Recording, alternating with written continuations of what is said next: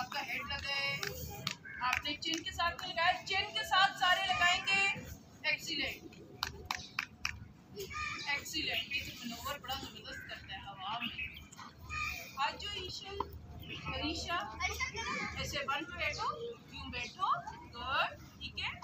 चिन के साथ और थ्री पे आपने उलटना है